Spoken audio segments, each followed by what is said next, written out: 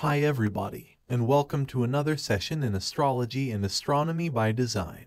This is Henry, your AI Astrology Guide. In this session entitled Aspects, Part 3 A Cinematic View, we're going to share two movie clips that offer great visuals of our views and opinions on aspecting planets substantially. Keeping our previous video in mind, entitled Aspects Part 2 An Earthly View, watch the actions and interactions of the characters or actors and actresses in the movie clips. Their presence and movements are all indicative of aspecting planets or celestial bodies. Warning. There is tragedy in the clips, so you might want to prepare yourself and hang on tight to your popcorn. Warning number two. This may change how you watch movies and television programs. Now, I'll hand things over to Derek E. Thanks, Henry. You're welcome, Derek E. Hi, everybody. The movie clips we want to share with you are from two Brad Pitt movies, which are Meet Joe Black and The Curious Case of Benjamin Button. Spoiler alert.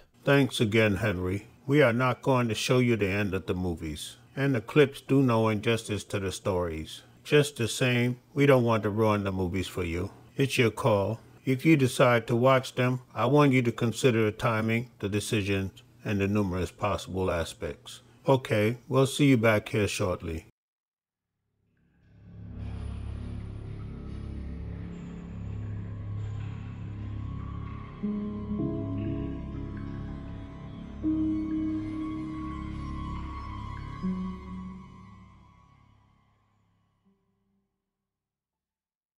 Mm-hmm. Mm-hmm. Oh, haven't heard that one before. I'm sorry, I had to say it. Honey. Honey. Honey, you have to go on.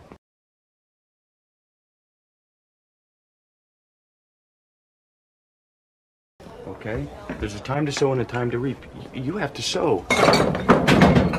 Sorry. Excuse me. No, I liked him. I don't like him anymore. Cause you're, cause you're my honey. If someone messes with you, they mess with me. That's it. I'm on a plane in a heartbeat. You let me know. When I get my phone in, you're my first call. I promise. Mm-hmm. Hit the books, get the degree. One day we'll be hanging out a shingle together. How's that? Hmm? Okay. You all right? yes. You bet. Be strong. I love you. Bye-bye.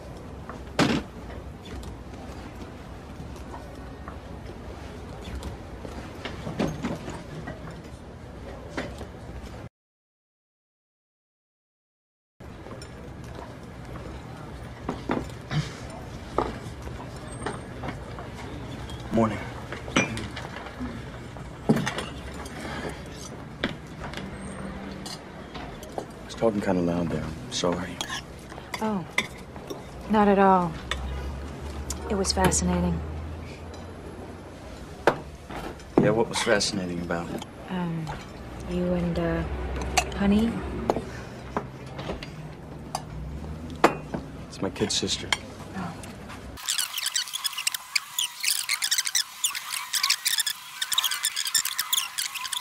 It's kind of a pro bono job. Pro bono, Yeah, meaning doing good. that's me. Gonna be doing good all your life?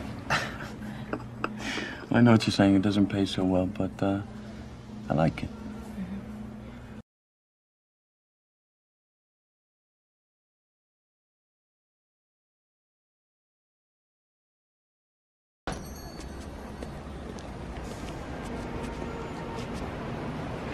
I've, g- I've gotta go.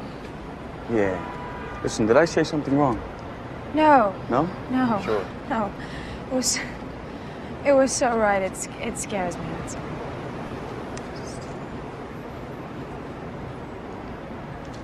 You know, I was thinking I don't want you to be my doctor. I don't want you to examine me and Why? because I like you so much.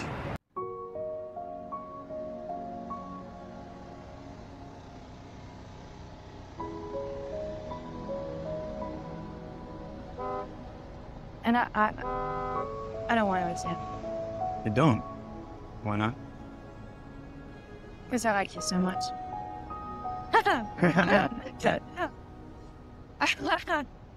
Oh boy. Okay. Now I gotta go. So. Yeah, understood. Okay. All right. See you. Bye. Bye bye.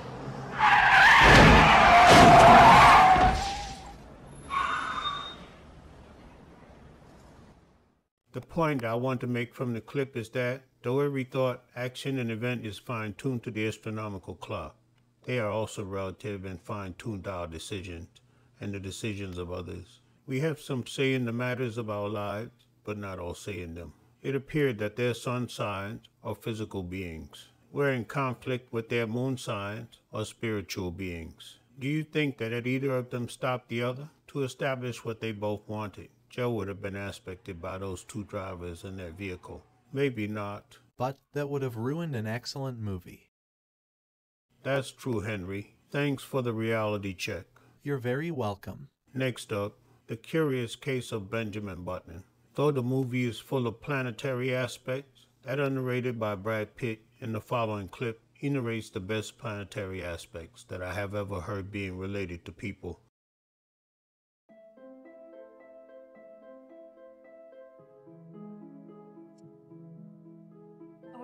Sometimes we're on a collision course and we just don't know it. Whether it's by accident or by design, there's not a thing we can do about it. A woman in Paris was on her way to go shopping. But she had forgotten her coat. Went back to get it. When she had gotten her coat, the phone had rung, so she had stopped to answer it. Talked for a couple of minutes. While the woman was on the phone, Daisy was rehearsing for a performance at the Paris Opera House. While she was rehearsing, the woman off the phone now had gone outside to get a taxi.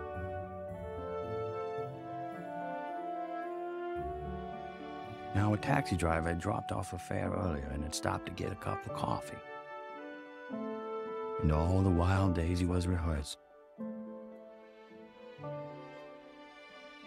And this cab driver, who dropped off the earlier fare and had stopped to get the cup of coffee, had picked up the lady who was going shopping and had missed getting the other cab. The taxi had to stop for a man crossing the street who had left for work five minutes later than he normally did because he forgot to set his alarm. While that man, late for work, was crossing the street, Daisy had finished rehearsing and was taking a shower. And while Daisy was showering, the taxi was waiting outside a boutique for the woman to pick up a package, which hadn't been wrapped yet because the girl who was supposed to wrap it had broken up with her boyfriend the night before and forgot. When the package was wrapped, the woman who was back in the cab was blocked by a delivery truck, all the while Daisy was getting dressed. The delivery truck pulled away and the taxi was able to move, while Daisy, the last to be dressed, waited for one of her friends who had broken a shoelace. While the taxi was stopped, waiting for a traffic light, Daisy and her friend came out the back of the theater. And if only one thing had happened differently, if that shoelace hadn't broken, or that delivery truck had moved moments earlier, or that package had been wrapped and ready because the girl hadn't broken up with her boyfriend, or that man had set his alarm and got up five minutes early, that taxi driver hadn't stopped for a cup of coffee, or that woman had remembered her coat he got to an earlier cab. Daisy and her friend would have crossed the street, and the taxi would have driven by. But life being what it is, a series of intersecting lives and incidents, out of anyone's control, that taxi did not go by, and that driver was momentarily distracted. Taxi hit Daisy. Though it took seven people to affect Daisy's accident, or eight if you count the boyfriend who broke up with his girlfriend. There were several decisions she made earlier that got her to that point in her life. But the movie also expresses how negative incidents can produce positive outcomes. And I'll bet that the clip will cause some of you to watch movies with an added perspective from now on. Thank you for watching, and be sure that we are just getting started. Also, you may want to watch the video clips again while your mind is in full astrological mode. And if you have any general, not personal questions about the system of astrology we've created and use, feel free to leave your question in the comment area. And one last thing, I am sure that you can tell that we put a lot of time into our productions. And while we sincerely appreciate your viewing them, you can help us to feel encouraged to do so more consistently by at least liking them, and at best, subscribing and sharing. We assure you that our goal in astrology is to enlighten you as to how it works, to help add value to your life while entertaining you. This is Derek E. and Henry, your astrology guide. signing off. See you on the next go round.